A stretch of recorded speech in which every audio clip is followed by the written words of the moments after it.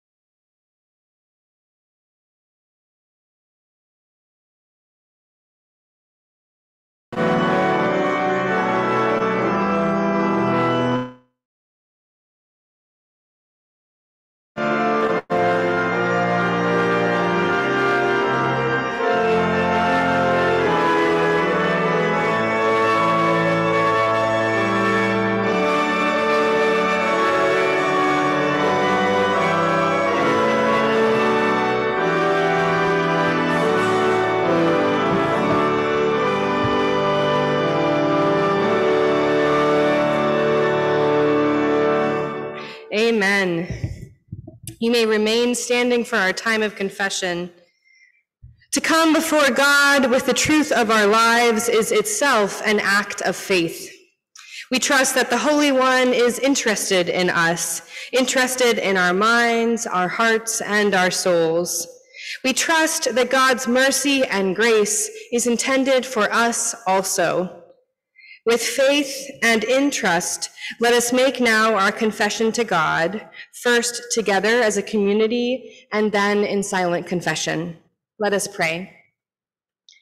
Holy and gracious God, at times we feel so frail and fragile, getting blown about by the latest crisis, by bad news, by our own short tempers and failings.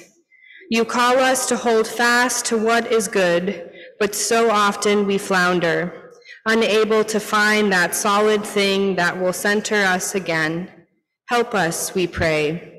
Help us to see you as our center and to cling to the good that you create in the world. Help us to set aside all our jealousies and prejudices, all of our distractions and false treasures, all that adds to the world's hurt Help us to grow even more into Christ likeness, that we will bear his love and wisdom to the world. We pray in Christ's name. Amen. Let us continue in prayer.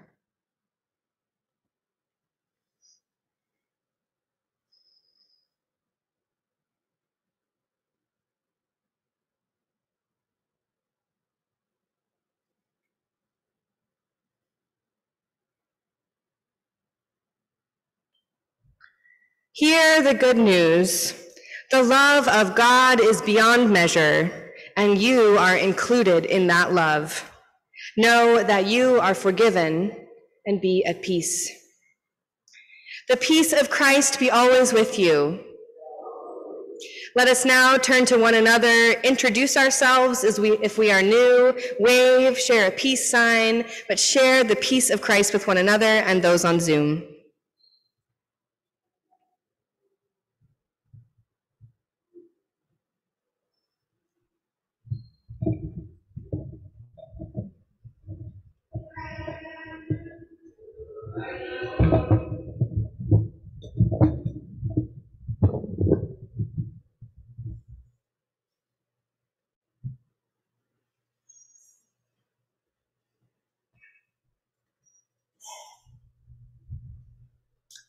Please join me in the prayer of illumination.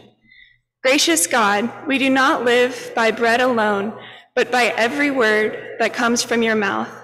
Make us hungry for this heavenly food, that it may nourish us today in the ways of eternal life. Through Christ our heaven. Amen. A reading from the book of Genesis. The Lord appeared to Abraham by the oaks of Mamre as he sat at the entrance of his tent in the heat of the day. He looked up and saw three men standing near him. When he saw them, he ran from the tent entrance to meet them and bowed down to the ground. He said, My Lord, if I find favor with you, do not pass by your servant.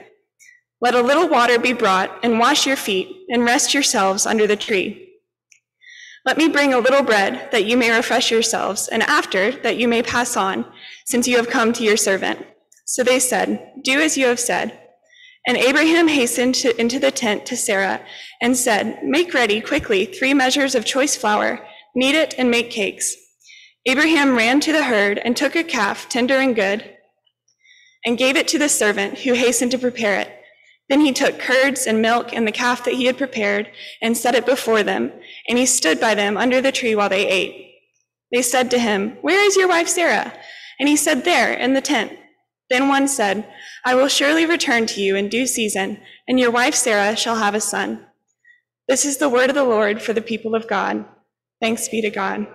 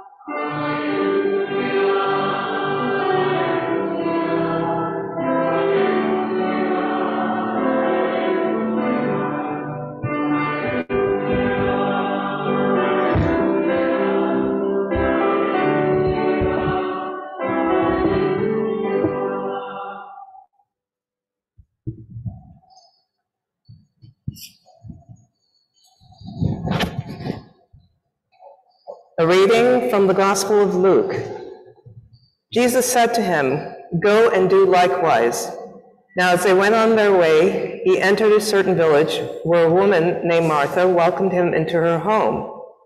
She had a sister named Mary, who sat at the Lord's feet and listened to what he was saying. But Martha was distracted by her many tasks, so she came to him and asked, Lord, do you not care that my sister has left me to do all the work by myself? Tell her then to help me. But the Lord answered her, Martha, Martha, you are worried and distracted by many things. There is need of only one thing. Mary has chosen the better part, which will not be taken away from her. This is the good news of the gospel. Praise to you, Lord Christ.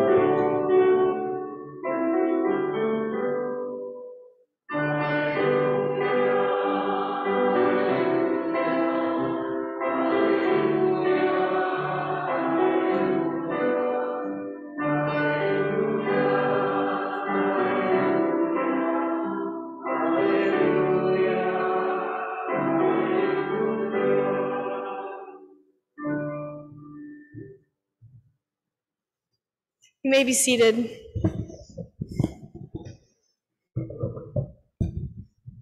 Please join me in prayer. Spirit of the living God, fall afresh on this place. May the words of my mouth and the meditations of all our hearts be acceptable to you, O Lord, our rock and redeemer. Amen. How many people here today can relate to Martha in our gospel reading for this morning? Quite a few hands. I think we've all become exhausted or resentful from a chore or task we are doing for the benefit of others. Whether it's washing the dishes, cleaning the bathroom, tidying up our own room, there are tasks we often are quite willing to do that can become cumbersome. Times when we want to turn to our family, our roommate, our partner, or really when we just want to turn to anyone, even when we live on our own, and say, Isn't it your turn to tap in? Isn't it just anyone else's turn but mine to take care of this? I think we all can relate to this feeling in various ways. And Martha, who was usually a very gracious host, had hit her breaking point. Based on the details preserved in Scripture, we can assume that Martha was a woman of means. Jesus is said to have entered Martha's home, not her brother's home or her husband's home, whose names scholars contend would have been included if she was living in a male relative's home. No, in this story, it's specified that Jesus entered Martha's home. Maybe she was a widow, maybe she never married, we don't know. But what we do know is that Martha was a woman who wanted to welcome Jesus into her home and to take care of him. In Palestinian culture, Pastor Naveen Saras writes, eating together is an invitation to be a part of the family circle. It is about breaking barriers and providing protection to guests, no matter the personal cost. In my culture, she continued, and in first century Palestine, hospitality is about allowing the guest to share the sacredness of the family space.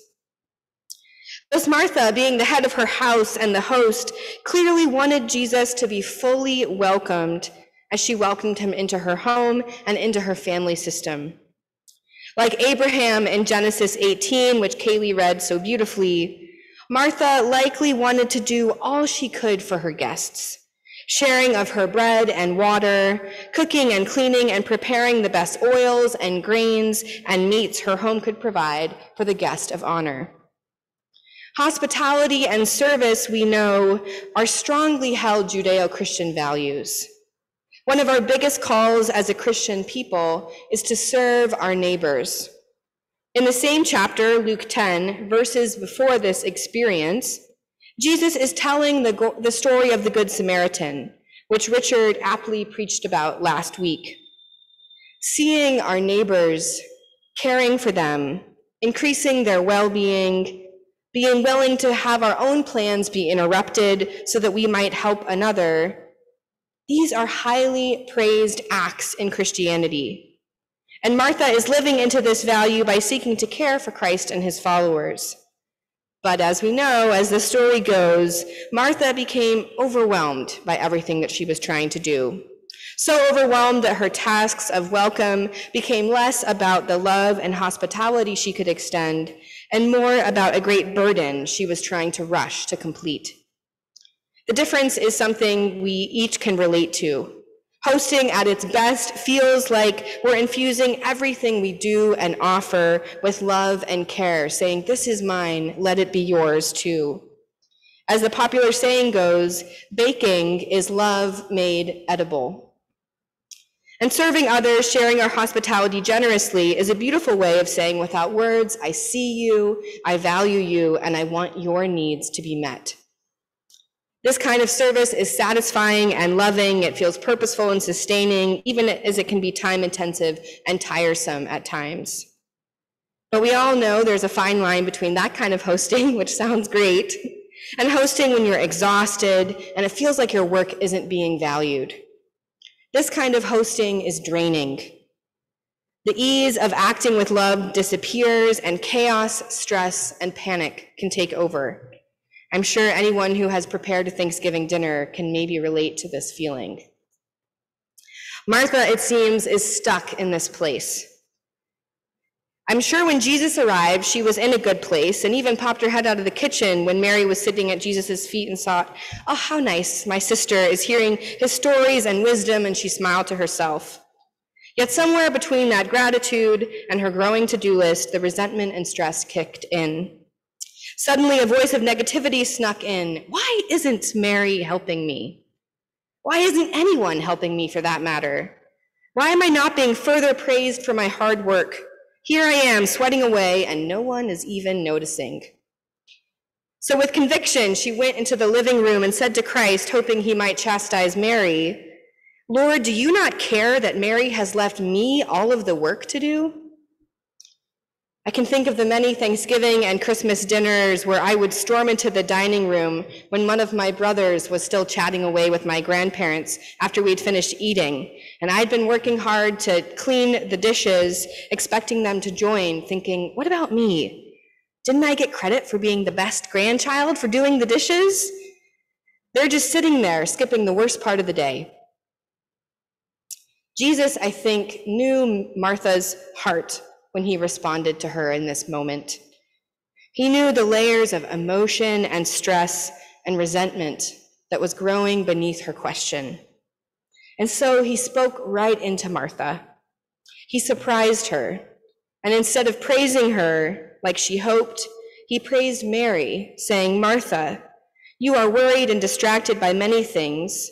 This, there is need for only one thing. Mary has chosen the better part. In other words, Jesus was saying to Martha, You've got it all turned around.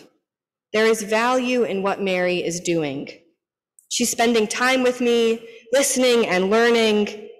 You are engaging in service and hospitality, which is valuable and is good. But Jesus knew Martha's heart in that moment, and her heart wasn't in the hospitality anymore. So he wanted to show her another way. Her value didn't come from her labor. Her relationship to him wasn't rooted in what she could prove or achieve or complete for him. No, Christ didn't need her service for the sake of having more food or more drink. Instead, he desired relationship. Instead, he centered connection. He could see Martha was spinning away into a place of overwhelm, resentment, and distance. And I hear him saying, Martha, come back to me. Slow down. If you need help, ask for help. But recognize the value in Mary simply sitting with me. And if you wish, you can come and do the same. Others could attend to the tasks, or in good time, maybe all three of them could have completed the work together.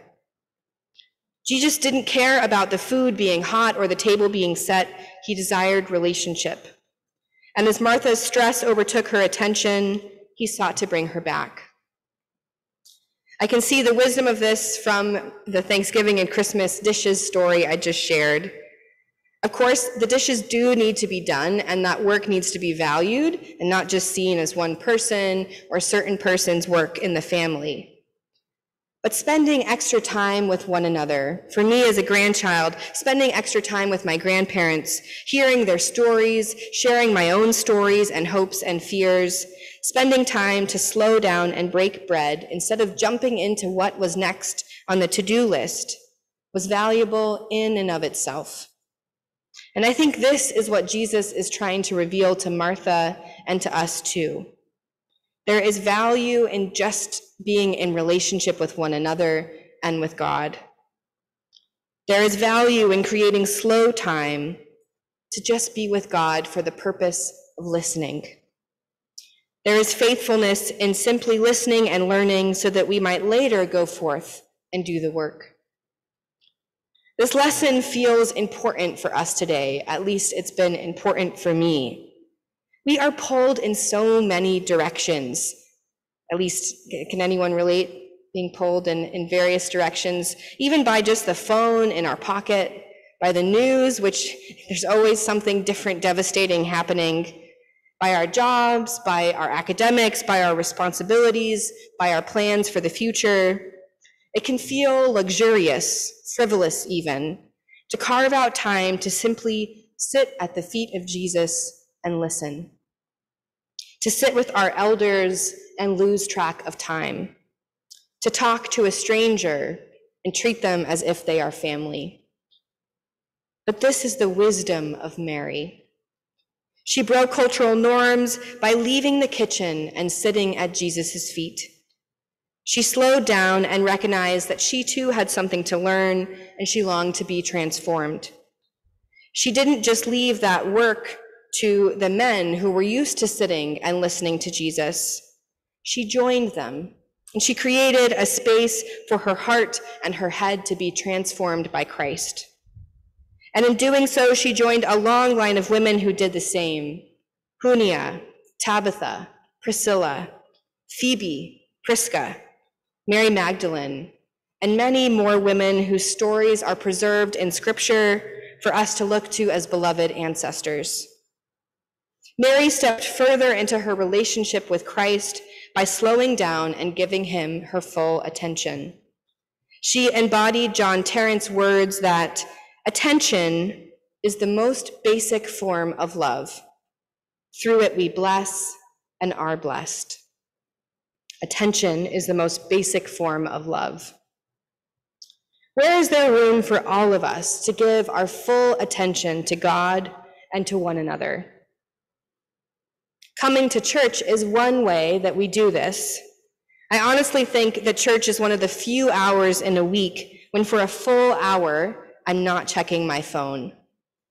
In church, I can't multitask more than doodling on my bulletin, which sometimes can actually be a way that helps me listen.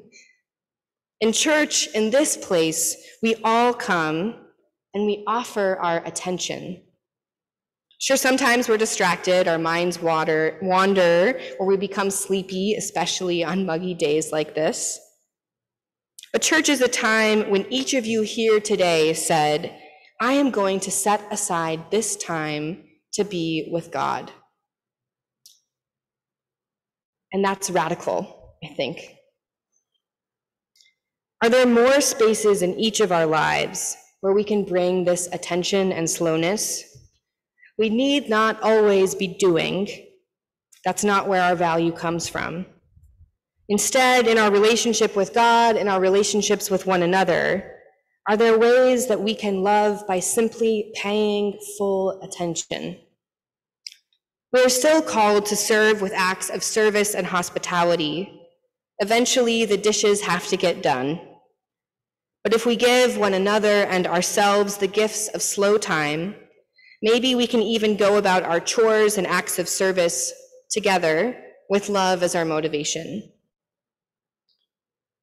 So this week, Let's be like Mary and let's be like Martha. Let us serve when it is time to step up and serve, and let us listen when it is time to protect the time to listen. Let us be discerning so that we might know which way we are being called to in each moment. Trusting that if we slow things down, the loving way forward will be made clear. Amen.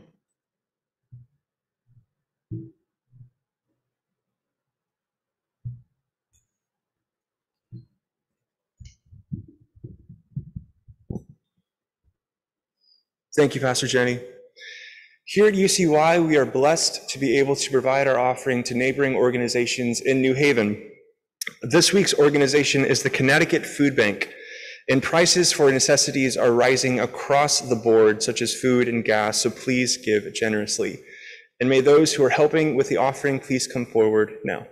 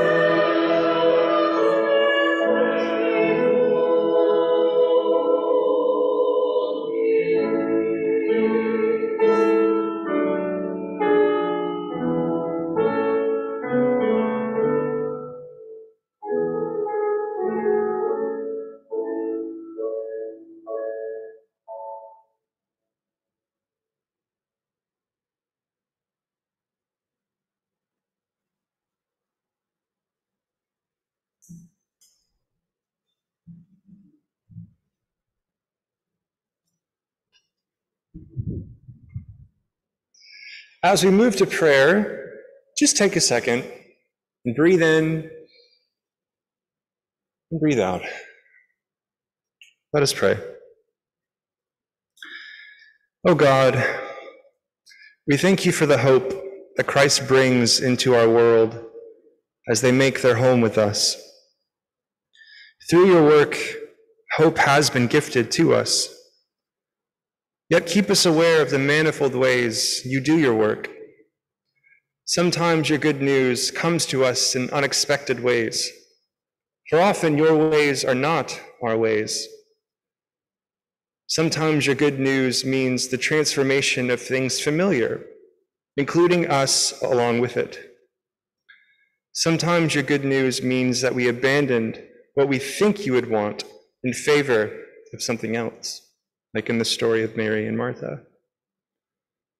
Help us to receive whenever and however you interact with us, but most especially when it is hard to grasp such interaction. You are our greatest hope, and we submit ourselves to you.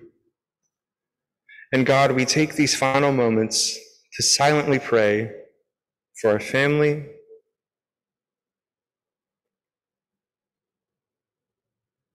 our friends,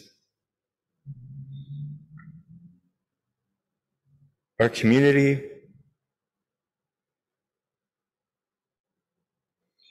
our church, our state,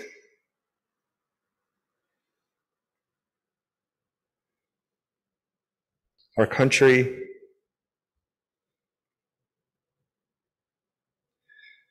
for the war in Ukraine to end, for our world,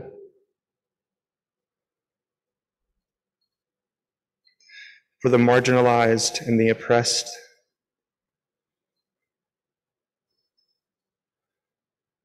For our many needs, and for us to better serve you. In Christ's name we pray. Amen.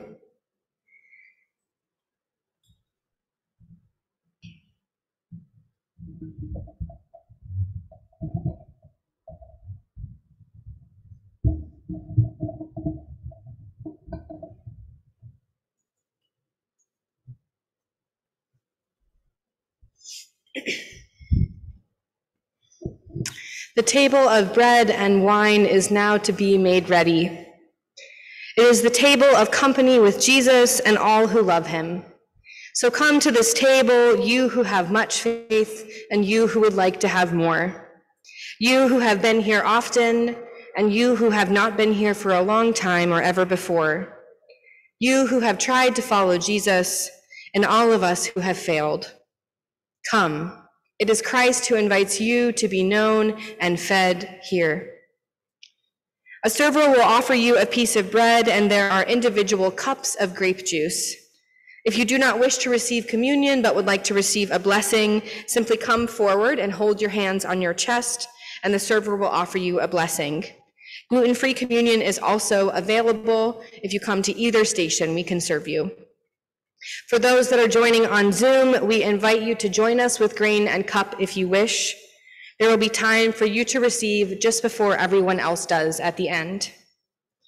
And if you do not wish to receive remotely, we invite you to join us in prayer. The prayer that I will be using today for our communion liturgy comes from a fourth century liturgy used in the city of Alexandria. As we pray, sing, and receive together, may we feel connected to our ancestors then and Christians today throughout the world. I now invite you to stand and let us join together in the ancient prayer of the church.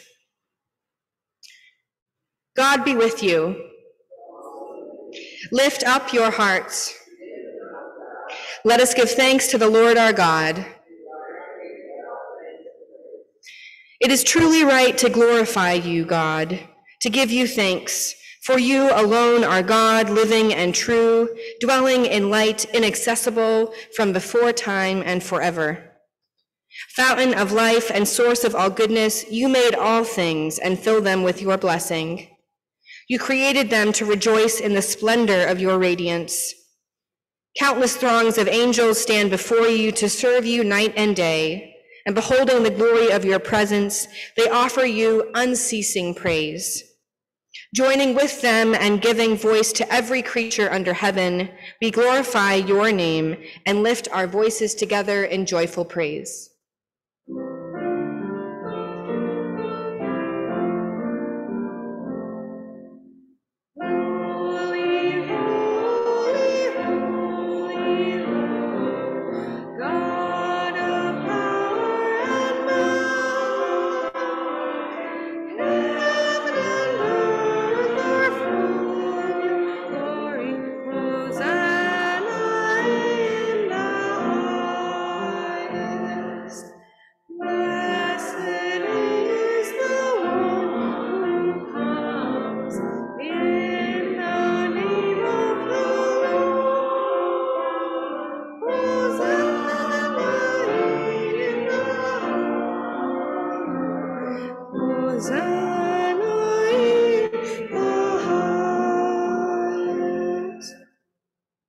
We acclaim you, holy God, glorious in power.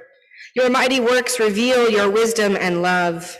You formed us in your own image, giving the whole world into our care, so that in obedience to you, our Creator, we might serve all your creatures. When our disobedience took us far from you, you did not abandon us to the power of death. In your mercy, you came to our help so that in seeking you, we might find you. Again and again, you called us into covenant with you, and through your prophets, you taught us the hope of salvation. Almighty God, you love the world so much that in the fullness of time, you sent your only Son to be our Savior. Incarnate by the Holy Spirit, born of the Virgin Mary, he lived as one of us, yet was without sin. To the poor, he proclaimed the good news of salvation. To prisoners, freedom. To the sorrowful, joy. To fulfill your purpose, he gave himself up to death, and rising from the grave, destroyed death and made the whole creation new. And that we might live no longer for ourselves, but for him who died and rose for us. God sent the Holy Spirit, God's gifts for all who believe, to complete God's work in the world and to bring to fulfillment the sanctification of all. When the hour had come for him to be glorified, by you, his heavenly Father, having loved his own who were in the world, Jesus loved them to the end. And at supper, with them, he took bread. And after giving thanks to you, he broke it and gave it to his disciples, saying, Take, eat. This is my body, which is broken for you. Do this in remembrance of me. After supper, he took the cup, saying, This cup is the new covenant sealed in my blood, shed for all of you for the forgiveness of sins. Whenever you drink it, do this in remembrance of me. Shed for you, for all, for the forgiveness of sins. Holy God, we now celebrate this memorial of our redemption recalling Christ's death and his descent among the dead, proclaiming his resurrection and ascension to your right hand, waiting for his coming in glory, and offering to you from the gifts you have given us this bread and this cup. We praise you and we bless you, singing together the mystery of our faith.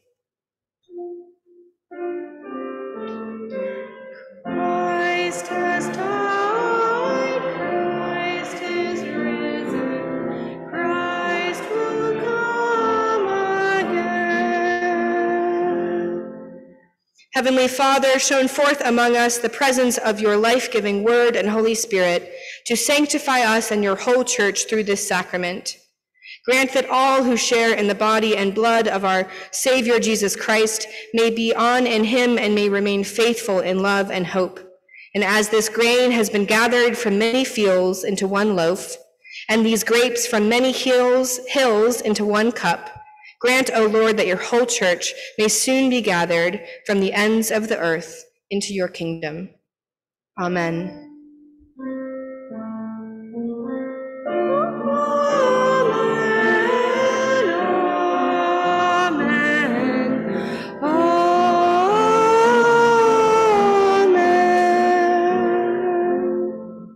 And now let us join together in the ancient prayer Jesus taught his followers to pray so long ago, in whatever language or translation is closest to your heart. Our God, who art in heaven, hallowed be thy name. Thy kingdom come, thy will be done, on earth as it is in heaven. Give us this day our daily bread, and forgive us our sins, as we forgive those who sin against us. And lead us not into temptation, but deliver us from evil. For thine is the kingdom, and the power, and the glory, forever and ever.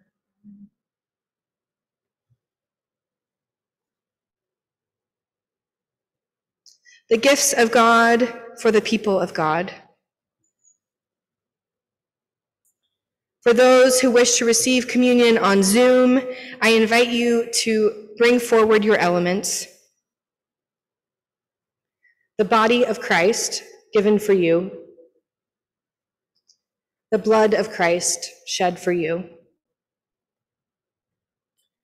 I now invite the communion servers to come forward.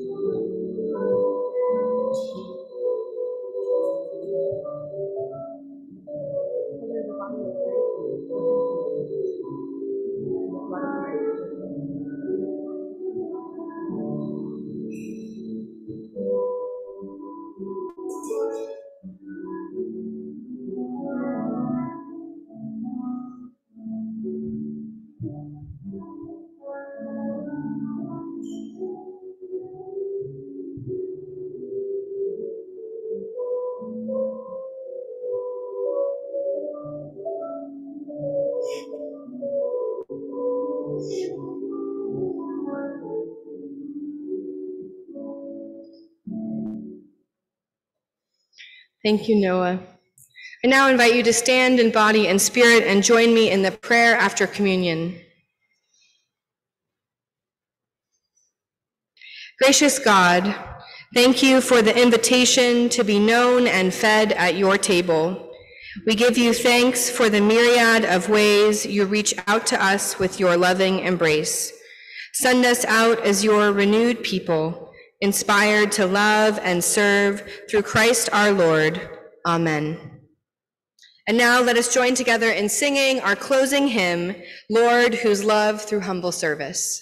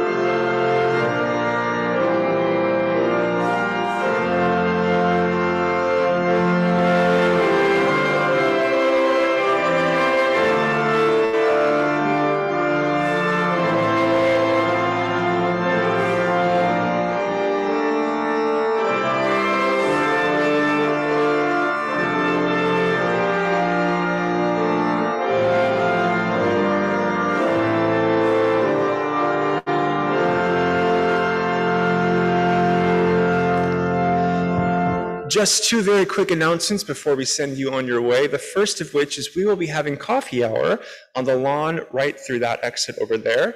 And the second of which is Pastor Ian is back next Sunday after his vacation. Woohoo! Now please join me in our final benediction. With what shall I come before the Lord and bow myself before God on high? God has told you, O mortal, what is good. And what does the Lord require of you? but to do justice, to do justice, and to love kindness, and to move humbly with your God, to move humbly with our God. Amen. And may the one in three and three in one bless and sustain you this week. Go in peace.